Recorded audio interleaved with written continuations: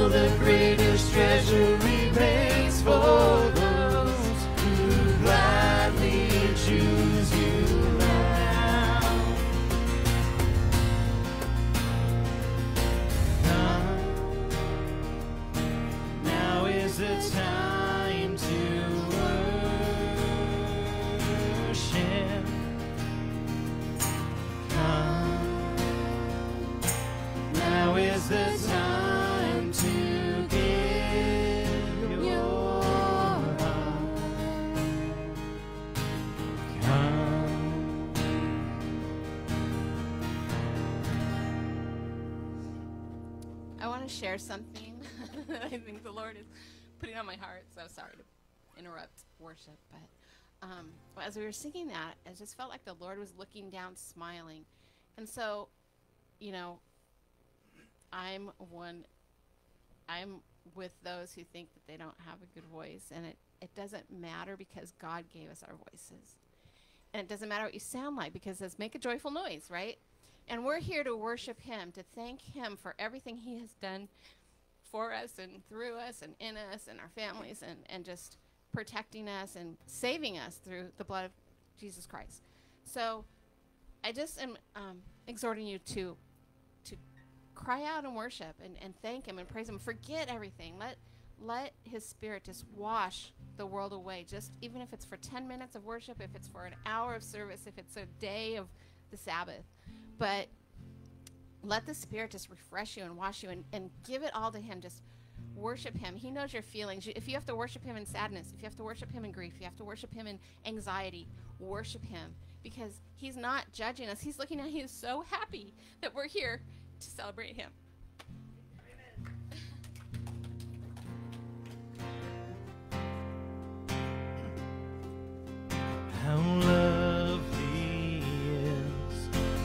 Dwelling place, O Lord Almighty. My soul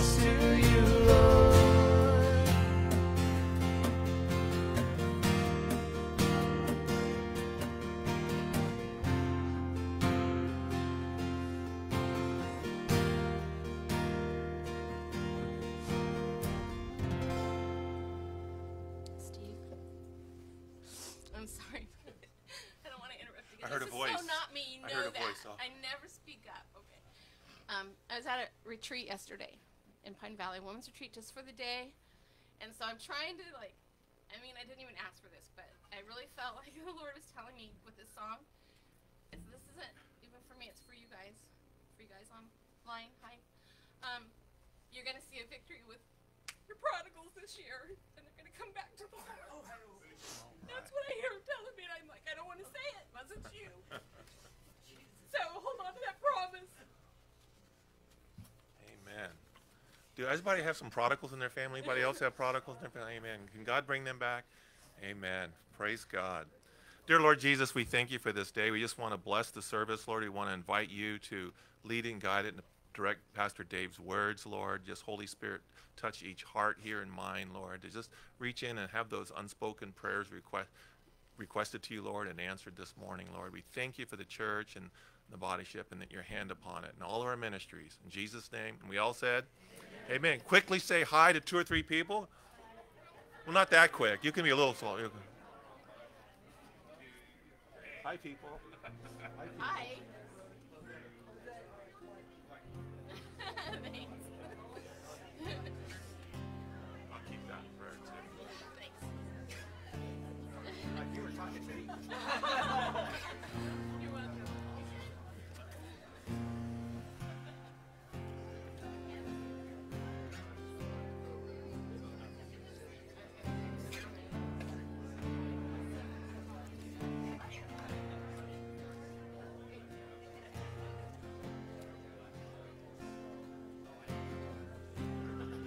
What's next weekend? What's happening next weekend? Time change. Okay, Pastor Dave always never wants. To, so we spring forward, right? Spring forward. So what does that? Does that mean we get an extra hour, or we lose an hour? We lose an hour. Yeah. So we don't want anybody missing church. You get here at 11, it'll be over. Okay. So spring forward. Make sure you set your clocks back uh, forward the night before. You know, I was reading where these two ladies were talking to each other, and the lady said, you know, I don't get these men to go to all these dating websites to meet women. That doesn't work. They should literally go to um, to Hobby Lobby because because they said, you know, Hobby Lobby, the ratio of women to men is like ten to one, and the women are already there looking for things they don't need. Well, that's pretty good. All right. Yeah. Hey, some of those ladies need us, you know. One I know, anyway. So uh, we, ha- we have the calendar here, and uh, just uh, you can always get those in the back, and we have a full week coming up and different studies throughout the week. The men's on Friday, and uh, so just mark your calendar and be sure to do it. We'll have our ushers come forward, give you a chance to uh, worship through your tithes and offerings. I was reading, you know, every once in a while you see something funny in the Bible, you know, and I was reading um, in Kings about Elijah and the prophets of Baal. Remember the story? And the prophets of Baal, he said he challenged the prophets of Baal, and so he made a big uh, offering with lots of wood, and he said, "You bring all the prophets of Baal, and then you and don't light the don't light the fire. You pray to your god Baal, and let him light the fire." And it, you know, something like 150 or lots of these prophets of Baal were there, and it says that they went on and on for half a day, and and Elijah says, "What is he? Is your God asleep? Do you need? Did you need to wake him up somehow? Maybe beat some pots and pans." And so they started yelling louder, and they slashed themselves with knives, and this went on. And then, but then Elijah says, "Okay, you guys are done." He said, "Now take water, buckets of water, and pour it all over the firewood and all over the altar." And he said, "Now do it again, and get more water, and just drench it and soak it." And then he prayed to God Almighty. What happened? Fire came down and consumed the whole thing and lapped up all the water, and all the, the they put to death all the, the false prophets of Baal. So, but I just thought that was funny. I could just see him waiting and mocking and them carrying on. It says they start out dancing, and you could just see the show, and then beating themselves and, and wearing themselves out. And then all I do is praise to the living God. We worship a living God, don't we? Amen. Jim. Heavenly Father, God, I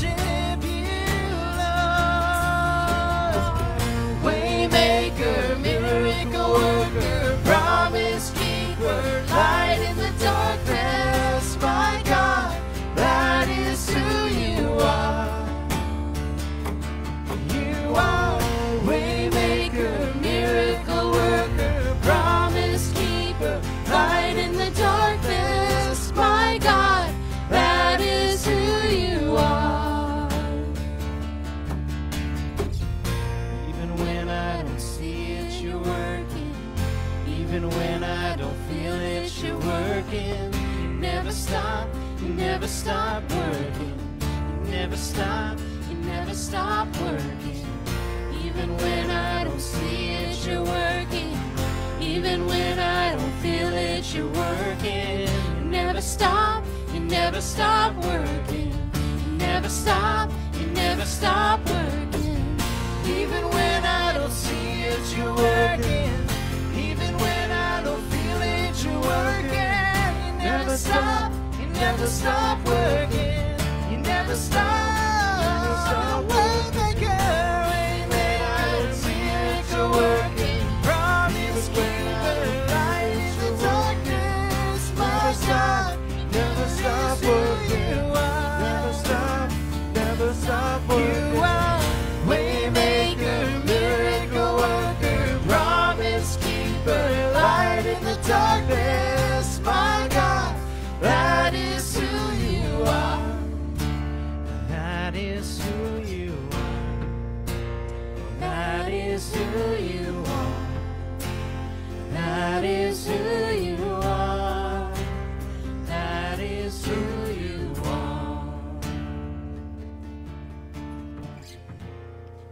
I, I think that song is so appropriate for today. He's going to put the words back up there. Look at him again in that last chorus. What is he doing today? He's a miracle worker. Find it back there. Miracle worker, promise keeper, light in the darkness. Isn't there a lot of darkness around today? My God, that is who you are. You know, and I want you to take out your sermon notes. Okay, everybody got sermon notes? Um, the kids can go to their classes, and so the junior high will be meeting outside downstairs today. And, uh, you know, you can see the top there, the title Jesus Changes Lives Today. He is changing lives today, He's doing miracles.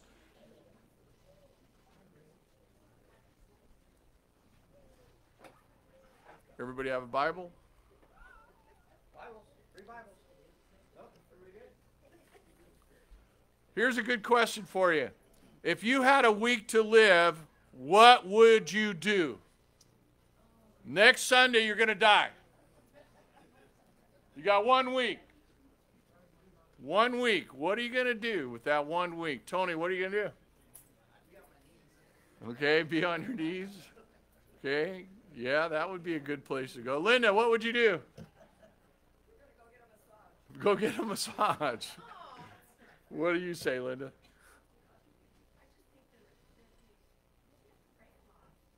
Okay.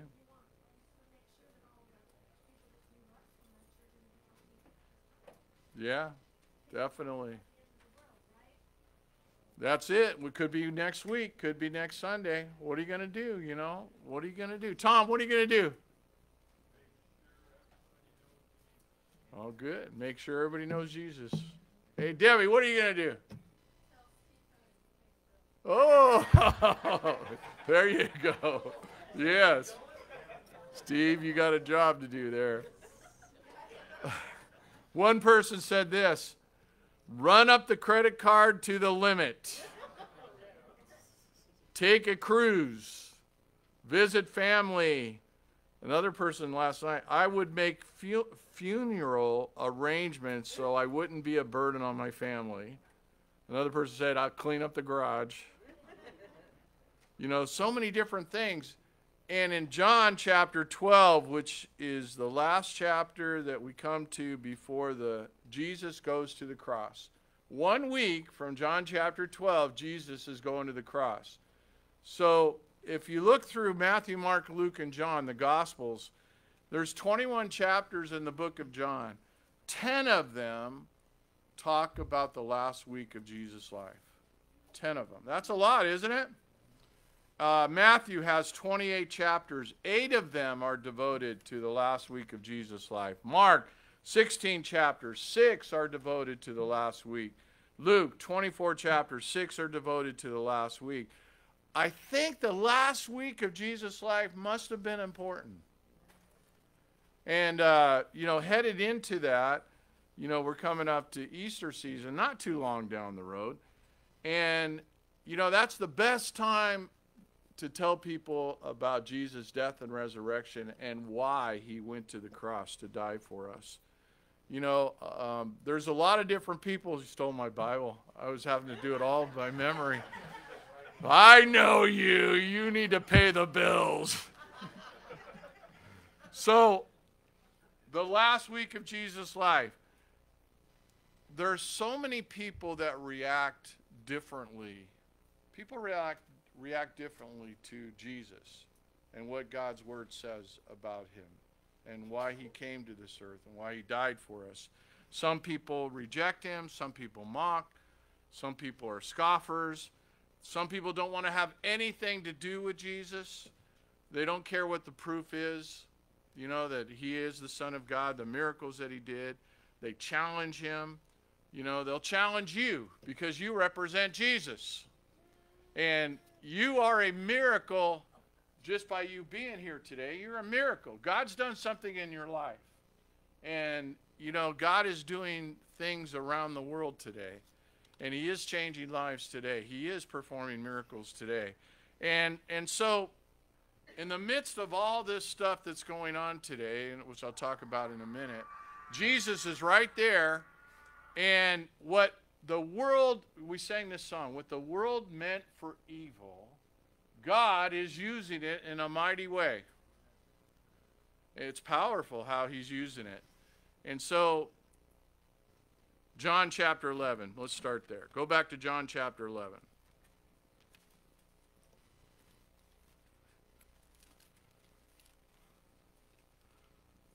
Steve was just testing me to see if I could do it by memory. John chapter 11, verse 45. Many, therefore, of the Jews who had come to see, uh, had come to Mary and beheld what he had done, what Jesus had done, what did they do? Believed in him. But some of them went away to the Pharisees and told them the things which Jesus had done.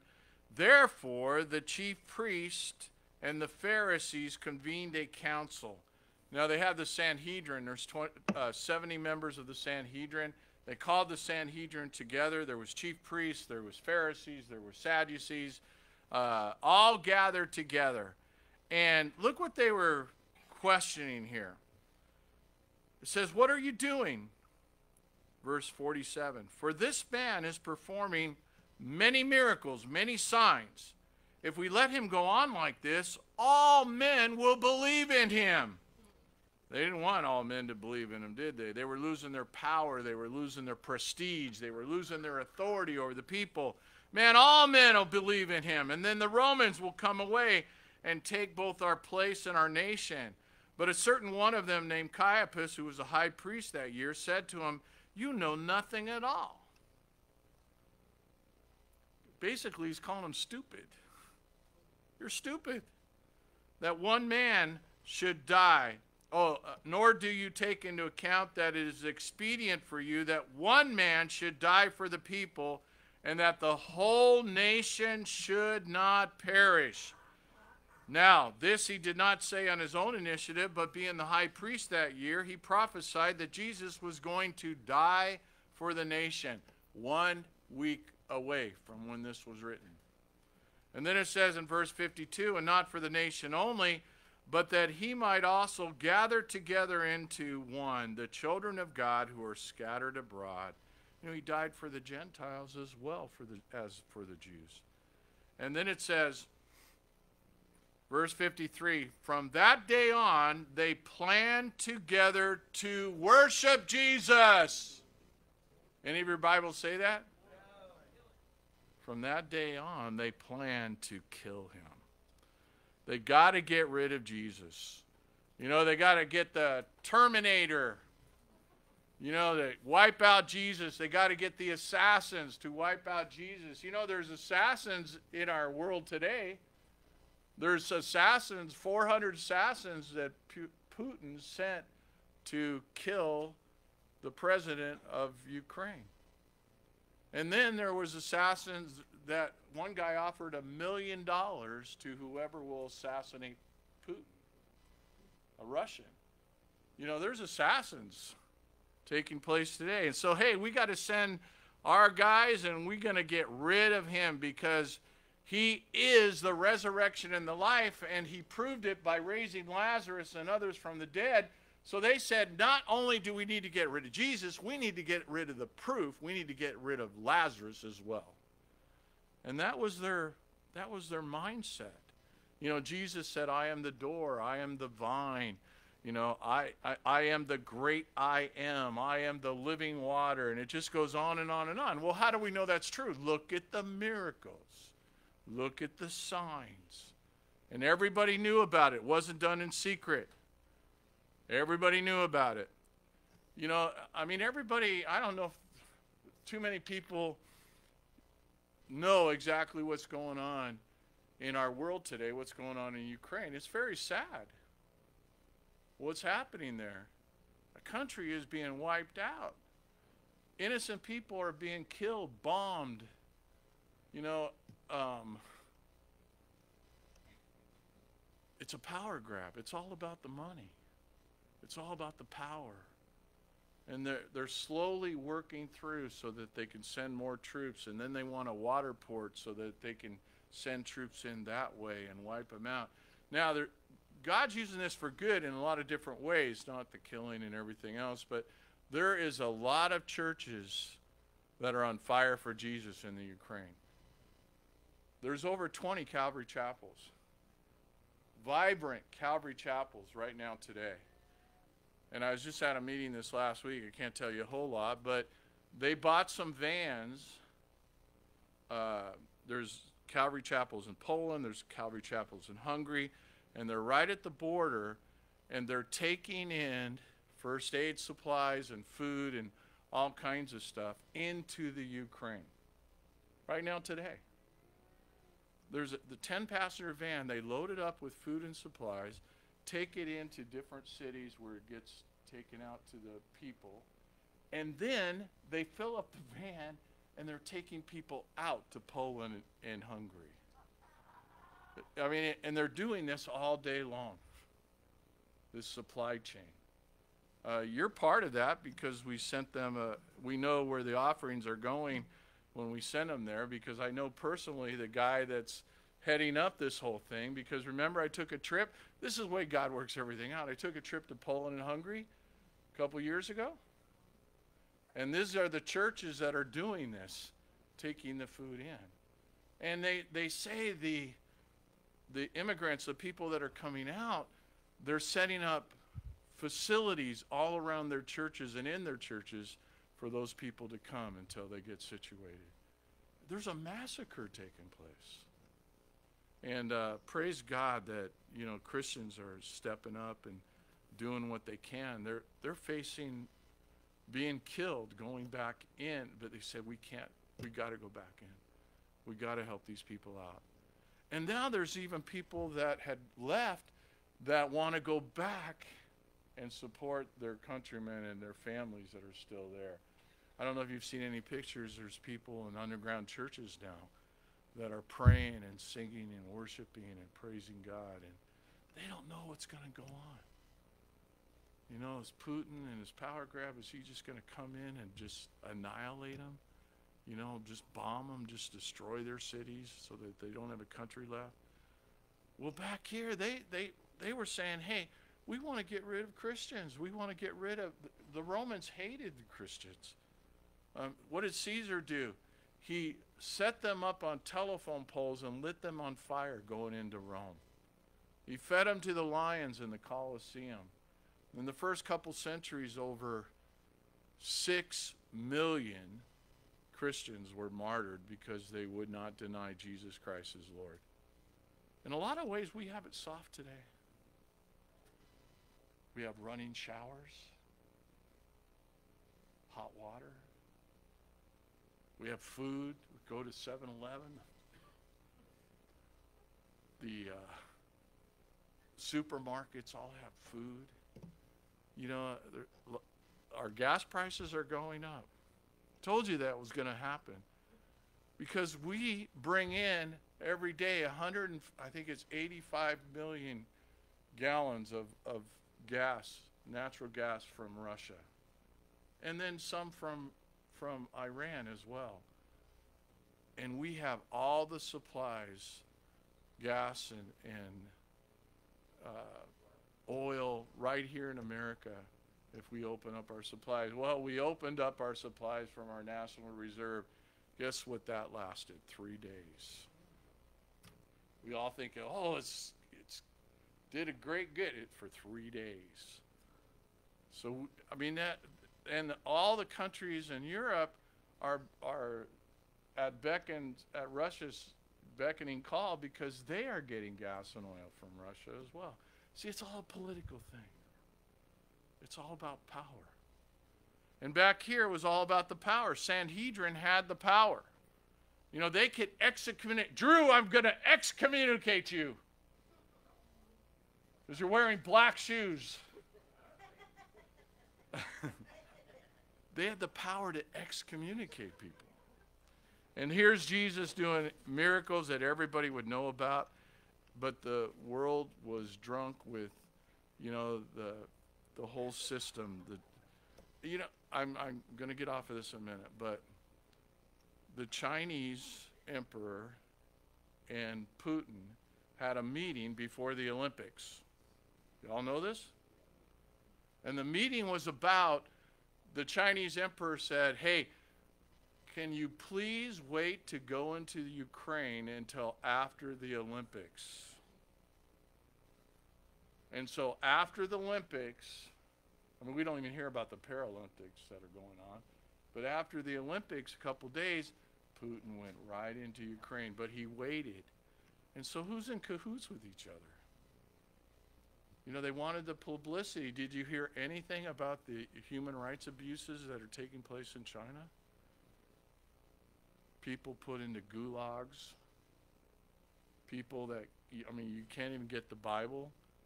You know, I mean, even Russia's kind of limiting what the, even their country knows about what's going on with the internet and everything else. They, they have control over all that. It's a power grab, it's a money grab. And, uh, you know, so we need to be aware of that. Don't get drunk with Chinese money and goods. Um, Taiwan will probably be next, and Hong Kong. And, uh, you know, the slave camps are going to continue. I mean, there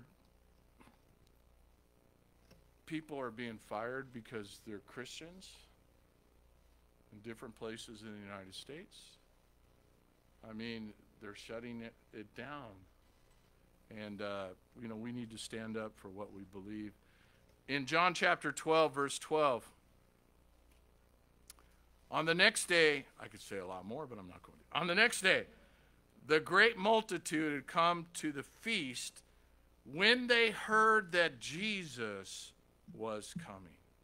I mean, multitudes were flocking, you know, to the public ministry of Jesus, to his healing and, and hearing his sermons.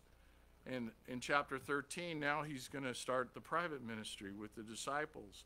But it says they took branches of the palm trees and they went out to meet him and they began to cry out, Hosanna! I mean, that's what we should be crying out today. What does Hosanna mean? Save us now. Man, Jesus, save us now. And blessed is he who comes in the name of the Lord, even the King of Israel. Can Jesus do miracles today? Teresa was praying about the prodigal sons, the prodigal daughter. So many of you raised your hands. You know, Jesus can heal people from addictions, He can set people free, He can change their lives. He can change. He can cleanse people's minds and their hearts. Have you ever been around somebody that's on meth? Meth epidemic is sky high today. You know, I, two people last week that are, were high on meth. They're they're hallucinating. They're imagining things. Schizophrenic. You know, all these fears that are taking place. It's horrible what meth will do to somebody. Jesus can change somebody's life. Ask the person next to you Has Jesus changed your life? I hope so.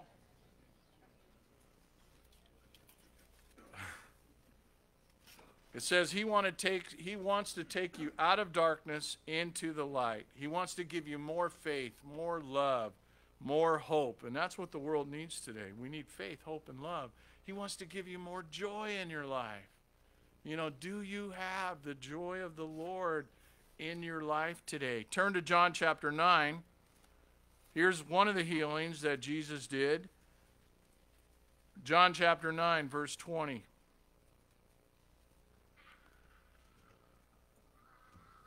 Well, a miracle had taken place. This guy was received his sight in verse 18, and they questioned them, saying, Is this your son? Talking to the parents, who you say was born blind. You notice the, what do you call it? Uh, sarcasm. Who you say was born blind. Oh, sure. And then it says, Then how does he now see? And, uh, you know, what's going to be your answer, parents? The parents, parents answered in verse 20 and said, We know that this is our son and that he was born blind. It's like, Are you guys idiots? We know he was born blind. We know he's our son.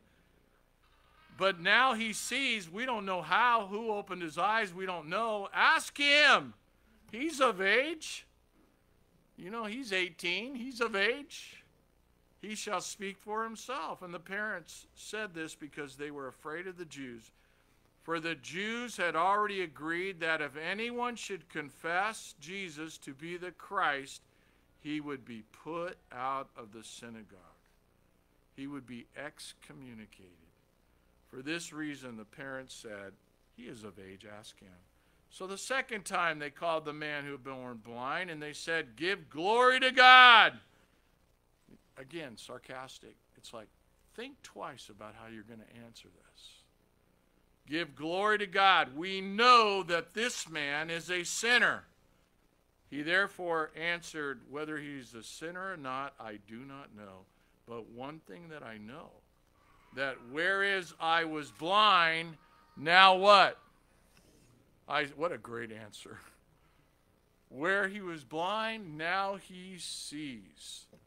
He's been set free from that illness or whatever it is that caused it. And uh, the wonder working power of Jesus. I mean, he can set the blind man uh, free. Another miracle that Jesus did. Go to Mark chapter 1. There's so many of them. I just picked a few of them just so you get the point. Mark chapter 1, verse 23. Or uh, let's start verse 40. Chapter 1, verse 40. There was a leper that came to him, beseeching him and falling on his knees. We saw this a couple weeks ago, and he said to him, If you are willing, make me clean. And moved with compassion, he stretched out his hand, and what did he do? Touched him, and said to him, I am willing, be cleansed. And immediately the leprosy left him, and he was cleansed.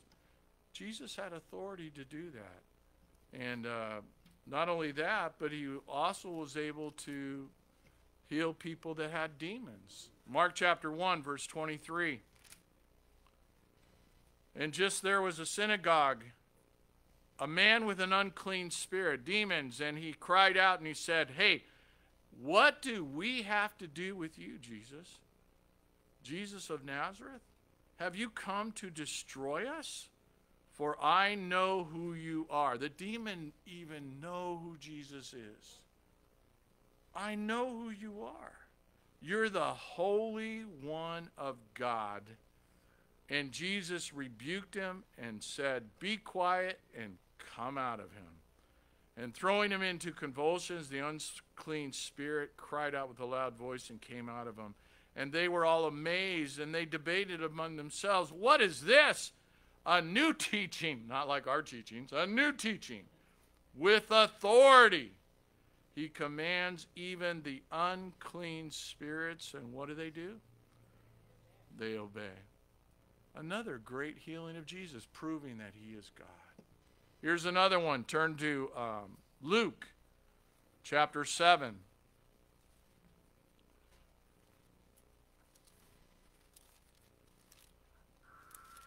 Luke chapter 7. Verse 37. And behold, there was a woman in the city who was a sinner. Now that's us. We're all sinners saved by grace, aren't we? You know, someone asked me the other day, well, what does it mean when we sin? And I, I see this little diagram here? It means to miss the mark. If I were to take a bow and arrow and try to shoot at it at a target, guess what I would do? Miss the mark. You don't want to be standing anywhere around.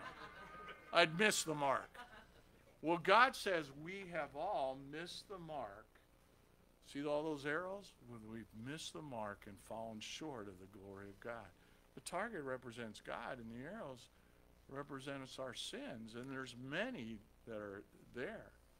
But thank God he loved us so much that he died for us on the cross to redeem us and set us free. This woman was very immoral. She's missed the mark. And then it goes on, and what does it say? Verse uh, 37 And when she learned that Jesus was reclining at the table in the Pharisee's house, she brought an alabaster vial of perfume, and standing behind him at his feet, weeping, she began to wet his feet with her tears, and kept wiping them with the hair of her head, and kissing his feet, and anointing them with perfume. You know that I mean, she her life had changed so much. She had just fallen in love with Jesus.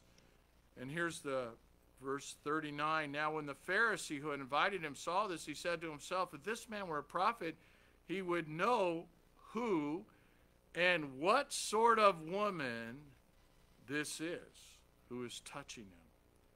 You know, it's like in the congregation today, the person sitting in front of you, behind you, next to you, if you would know what type of person that is or was, you would move to the other side of the room. But now that person's life has changed, and now that person, you know, has been redeemed by the blood of Jesus and has been set free from the slavery of Satan and sin. And that woman had been set free from the slavery of sin and her immoral lifestyle. A lot of people still love their sins. They love the darkness rather than the light because their deeds are evil. And they still reject Jesus Christ as their Lord and Savior. You know what's neat? To see a, a dad or a mom that really loves on their kids. You know, I'm seeing that again in so many people here in this room, but also in my daughter and, and my son in law, who are just loving on my grandson, David, 13 months old. And it's just wonderful to see, and, and just see David just light up when he sees mom and dad loving on him and playing with him and having a good time. It's wonderful. You know, they showed me pictures. They took him to his first swimming lessons at the Kroc Center, 13 months old. And there was like eight babies in the pool. And the video shows all the different babies, and they're crying and they're whining and they're, yeah! And there's David in mom's arms, and he's so happy. This is so much fun. he's having a great time. You know, and Jesus wants to love on all of us. He wants to love on us, just like a mom's love or a dad's love for their kids or grandkids. Extravagant love. My mom, she's a cookie. we lived up in Daly City area for five years, and it was during my high school years. And uh, during that time, I was doing my thing. And uh, after a game or something, you know, people would invite you out, and I, I wouldn't drink, but I'd go to different parties and different things that were going on. And uh, no matter what time I came home, my mom was awake, waiting for me. She'd be in her room with dad, but I tried so stealthy to be very quiet coming in, not making any noise, you know. And all of a sudden, from her room, I'd say, I'd hear these words, Hi, Dave. I could not get in without her awake. She was awake. She would not go to sleep until I went to bed. You know, and then she would say, as I'm going downstairs to where my room was, I love you. Good night. I knew it was going to happen every time I came home. I knew it. And uh, Jesus is constantly loving on people and healing people and setting them free. Turn to Luke chapter 13.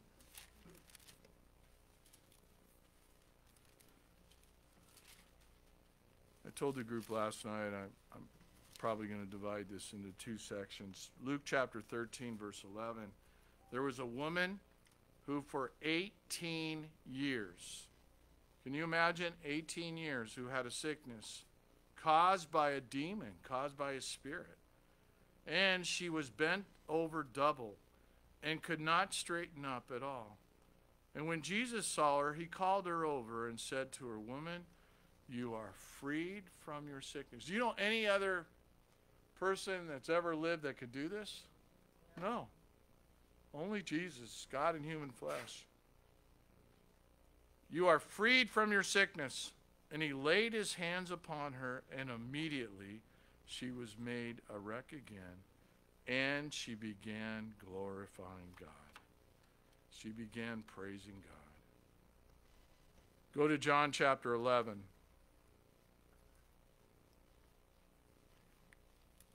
All these verses are there. You can look them up on your own. You don't have to believe what I say. Believe what the scriptures say. June chap- uh, John chapter 11, verse 40, it says, Jesus said to her, I did not say to you if you believe, or did I not say to you, if you believe, you will see the glory of God. If you believe, you'll see the glory of God. And then in verse 53, we have the story about Lazarus. And Jesus said in verse 43, when he had said these things, he cried out with a loud voice, Lazarus, come forth! And he who had died came forth, bound hand and foot with wrappings, and his face was wrapped around him with a cloth. And, and he said to them, Unbind him and let him go. Many, verse 45, therefore of the Jews who had come to Mary and behold what he had done, believed in him. There's only one person that had that type of power that came down to this earth at Christmas to pay a ransom for our sins on the cross to set us free. This great miracle of Lazarus being raised from the dead, look at the reaction here of the Pharisees. It says in verse 53, the Sanhedrin, from that day on, they planned together to what? Kill him. From that day on, they wanted to kill Jesus. And, uh, you know, the world doesn't like Christians. There's so many Christians have been martyred from the first century until today. And even today, they're being martyred to different places around the world. And they're trying to enslave Christians. You know, there's a, a court case going on right now, one in Canada, one in Australia, about some pastors that are going to be thrown into jail because they preach the Bible. I mean, it's taking place. And, uh, you know, we, they're ready. They they know, you know that the world is stacked against them. You know the the power of the principalities and forces of this world, but they're willing to take a stand for Jesus. All they have to do is don't preach the Bible. You know, in China, many pastors thrown into jails. You know, in Russia and all these other places, and. Uh, but they're willing to take a stand for Jesus. Why? Because Jesus bought them, redeemed them, changed their lives. You know, how can we not declare? How can we not confess with our mouth Jesus Christ is Lord? And uh, the Sanhedrin, the Pharisees, the chief priests, again thought if we just get rid of Jesus and Lazarus, then our problems will be solved. They nailed him to a cross. He died, was buried. What happened three days later? Rose from the grave. And guess what? Their problems multiplied. They even put a guard around the tomb. That didn't help. And they put the Roman seal on the tomb. That didn't help. You know, it, it wasn't so that Jesus could escape, it was so that people could see that the grave was empty. And he's still doing miracles today. He's still healing people today. You're a living example. You're a testimony. You're a testimony to the power of God. I'm just going to close, just give you a few verses. Matthew 5. Turn to Matthew 5, verse 16.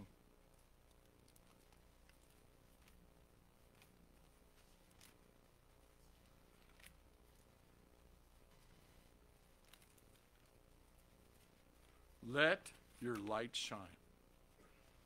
Let your light shine before men in such a way that they may see your good works, how God's changed your life, and glorify your Father who is in heaven. What does that say? Let your light shine. You know, we have those little flashlights that, you know, we've been giving out. And, uh, you know, let your light shine in a dark world. Let your light shine at work. Let your sh- light shine in your community. Let your light shine at your local 7 Eleven. Let your light shine everywhere you go. You never know the impact that you'll have on other people. A lot of you have grandkids. Man, let your light shine with them. Let them see your love, your joy, your peace, your patience, your goodness, your kindness, your self control. Let your light shine. You know, um, last Sunday, there was a lady that was here. Um, her doctor is a Christian doctor who I go to. And so every time I go there, I just say hello to her. How are, how you doing? How's everything going on? You know, you're, you're welcome to come and join us anytime. She lives right back here in these apartments. And uh, so she always says hello to me. That light's going to keep blinking until Satan is just rebuked. um, so she lives right back here. And I asked her, I said, Well, how is it back there? And she said, Well, in the front part where I live, right behind the fence, it's great. But you go down to the other side, she said there's all kinds of wickedness and corruption and lying and stealing and all kinds of stuff going on. And uh, she said, I, I knew I needed to get back to church.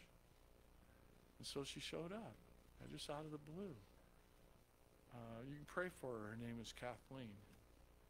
And, uh, you know, just from the testimony of just being nice to her and kind to her and loving on her, you know, said, hey, we got plenty of food. Take some food. She took a big bag of food with her. Let your light shine. Turn to John chapter 8. John chapter 8.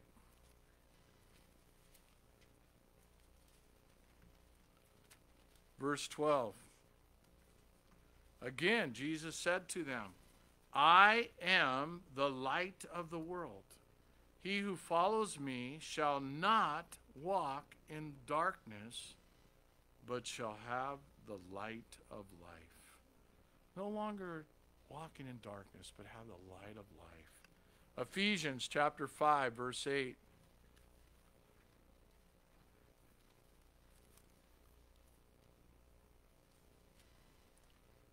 Ephesians 5 8. I love this. Therefore, do not be partakers with them, for you were formerly darkness, but now you are what? Lights in the Lord. You were formerly darkness, now you're lights in the Lord. Walk as children of the light. Walk as children of the light. 1 Peter chapter 2 verse 9. 1 Peter 2 9 says, You are a chosen race. You're a royal priesthood. You're a holy nation, a people for God's own possession, that you may proclaim the excellencies of Him who has called you out of the darkness into what? Marvelous light. You know, I, I can't go everywhere, I can't be everywhere, but you can. You are a bridge builder. Never forget this. You're a bridge builder leading people to Jesus. You were formerly in darkness, now you're in the light. You are proclaimers of this. 2 Corinthians chapter 4 verse 6. Just a couple more verses. Everybody still with me? 2 Corinthians 4 6. For God, who said, Light shall shine out of the darkness, is the one who is shown in our hearts to give the light of the knowledge of the glory of God in the face of Christ. And then again in back in 2 Peter chapter 1 verse 19. And uh, it's a great verse. 2 Peter chapter 1 verse 19. And we have the prophetic word made more sure. We have the scriptures to which you do well to pay attention as to a lamp shining in a dark place. God's word is a lamp shining in a dark place until the day dawns and the morning star arises in your hearts. God's word, a lamp unto my feet, a light unto my path. That's why we need God's word. You know that people in different countries of the way of the world pay months and months of salaries just to have a Bible. And yet we give them away all the time. You know, if you don't own one, take one from the back. I mean, we, we probably have two or three Bibles at home, right? Somewhere. God's Word, His sure Word, is so important. Thy Word have I hid in my heart that I may not miss the mark, that I may not walk in darkness. So, you know, God is doing a work today. I, I, know He is, and I know He loves each and every one of us. And some of us have some rough edges, and God is sandpapering them off. He's changing us, He's renewing us. You know, um, many places in the world, hell's power. Satan thinks he's got it. He's temporarily the God of this world, but he eventually is going to be cast into hell forever. You know, the gates of hell shall not prevail against God's church. And even though they tried to stamp it out, man, it, it comes back stronger. When we're persecuted, you have to have strong faith. And you have to rely on the Lord, not the government, not your bank account. We need to rely on the Lord. You know, a sad statistic that I read last week was people in church spend more on dog food than they do in their tithing. That's a pretty sad statistic, isn't it? And, uh, you know, praise God that we have so many faithful people here and that we can send money to missionaries and we can send money to help people out that are going on in the Ukraine. And you have stars in heaven you know, the food bank ministry, people coming in all the time and us taking food out to different places. I can't even imagine 5,000 pounds of food last week we gave out. That's amazing. You know, God is using it as a testimony, as a witness to Jesus Christ and the power of the resurrection. We're going to stop there. I want you to close your Bibles. Remember, next week, I hate time change. Next week, you got to move your clocks ahead. How long? One hour. You lose an hour of sleep. Go to bed earlier on Saturday night, right? Also, going on next week, men's Bible study on Thursday night here at the church. Come and join us. We're going through First Peter. That starts at 6:30. Our Wednesday night study with Pastor Dan, 6:30. Our Bible study on Tuesday night. On Friday night, some people say, "Hey, can we just come and worship the Lord, praise Him?" Well, Friday night at 6:30, our worship and prayer night, and then um, we're going to have a couples luncheon on the 20th of this month. Put that on your calendar now. Uh, we're going to have a, a community outreach on the 25th and the 26th. Um, we we made up some of these uh, door hanger things to take around some of these new places that we have around here. You know, God says the the fields are white for harvest, but the laborers are what? Few. You know, so come out. We we got plenty of door hangers, and we're also going to be taking food out if you want to join us with that do a neighborhood outreach on the 26th. And, um, you know, so keep these things in prayer. Keep them in prayer. And I'm going to ask the worship team to come back up here and the ushers to come forward. Uh, we're going to close this service by taking communion together, worshiping Jesus. And um, we do this in remembrance of Him, the scriptures say. And I, I challenge you if there's anything in your life where you're missing the mark, where you're falling short of the glory of God, where you're walking in darkness and not in the light, today, before we take communion, is a good time to get it taken care of. The scriptures say, in the Corinthian church was a very carnal church. It said, Some of you are sick and some of you have died because you've taken communion, communion unworthily. You, like you're throwing it in God's face and you're saying, hey, I don't care what the scriptures say. I'm going to do my own thing. And so God says every time before we do this to check your heart. Make sure you're right with Jesus. Just close your eyes for a second. Let the Spirit of the living God just speak to your lives, your heart, your mind, your soul.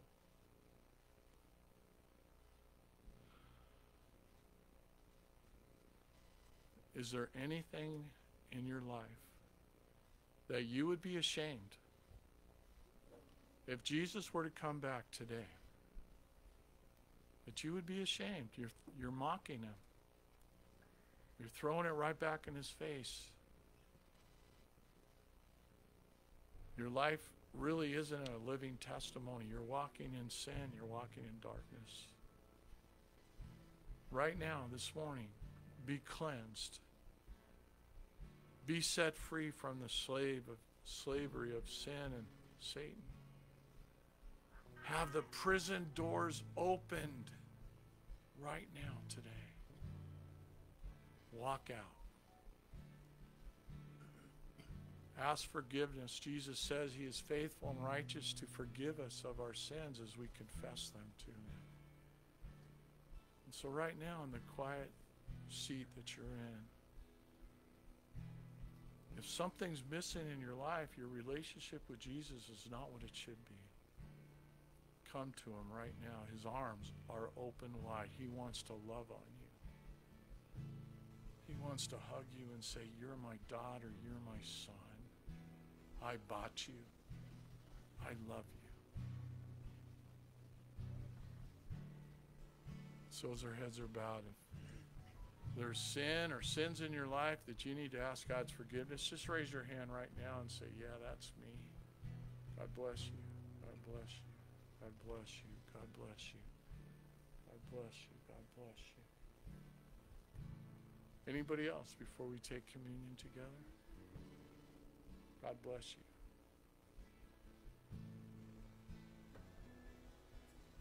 Thank you, Jesus. We see the power of God working right now in this church, changing people's lives, bringing them back into fellowship with you. That's the most important thing. Seek first His kingdom and His righteousness, and then all these other things will be added unto you. So, right now, we invite you to come as we sing. Take a stand for Jesus. Be a witness. Be a testimony for Him. In the name of Jesus, come.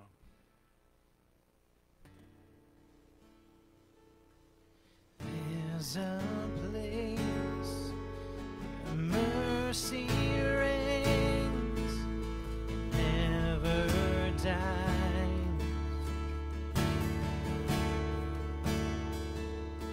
There's a place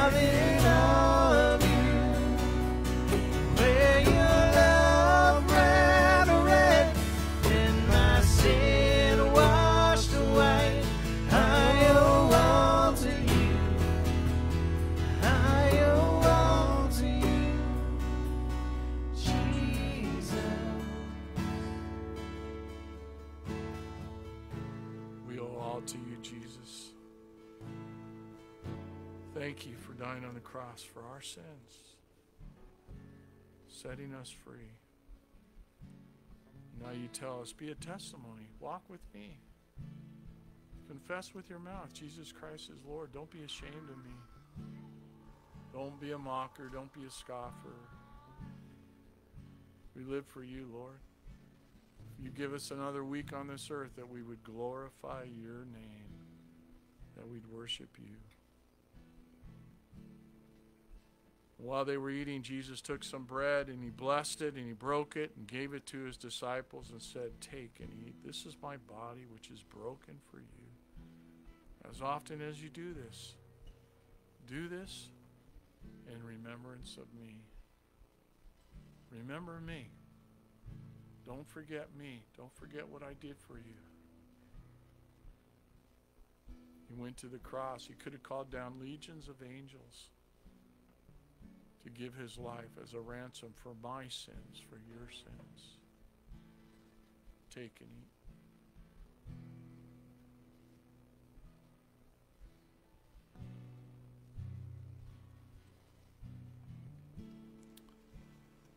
Last month, there was over a thousand people that watched the uh, services online at some time during the week. You never know. Never know what type of impact our lives will have up, upon other people. They're watching you. They're observing you. They're seeing if Jesus has really changed your life. And uh, if you're watching today or during the week, just take some water out of your refrigerator, or your orange juice or grape juice or whatever. It's whatever you have, it represents the blood of Christ. And Jesus, it says, took a cup and he gave thanks and gave it to him. And he said, Drink from this, all of you. For this is my blood of the new covenant, which is to be shed on behalf of many for the forgiveness of sins. Thank you, Jesus, for forgiving our sins. We do this in remembrance of you. Take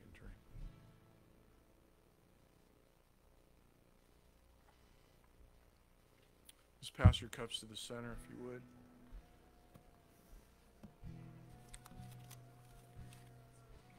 God bless you all.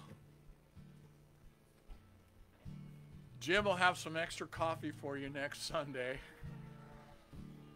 And uh, take some food with you and share it with others. And praise God that we are still able to meet together.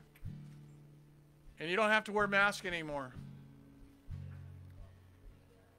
Only if you're a student in high school or elementary school. Don't ask me how crazy that is. That is so crazy. You know, um, it kind of was so weird to me that before the, uh, what's the speech by Gabe? State of the Union. Before the, the day before the State of the Union address, he's walking on the lawn of the White House. Nobody around him. Nobody anywhere. And he's wearing a mask. I'm going, you're not going to get COVID if you're walking alone on the lawn. And then the next day, Pelosi, by some whatever, says, okay, you, no one has to wear a mask during the political game of the speech. You don't have to wear a mask anymore. So everybody's hugging and kissing each other. And nobody's wearing a mask anymore. I'm going, what changed in one day? You know, was it so that everybody on TV could see their faces because elections are coming up and, you know, see them get shaking the president's hand and all so happy and, you know, what changed? And uh, I just hope the change will be in our hearts.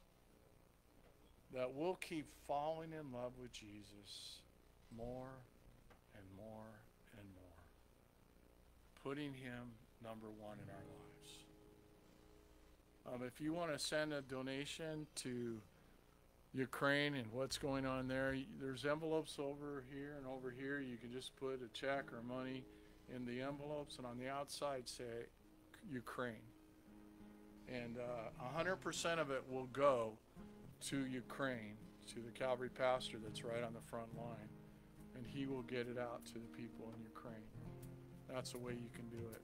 Somebody asked me last night, so I just, you can do it that way, or you can do, you know, PayPal or Tithely or whatever, and just say on there that you want it to go to Ukraine. And uh, you'll be participants in helping out those people. I can't even imagine your city being, La Mesa being bombed and destroyed, innocent people being killed. That's going to happen in a lot of other places very soon. Jesus, Hosanna, save us now. Amen. Tell the person next to you, I'm glad you were here today. God bless you. Take some food, take some donuts. Have a great day.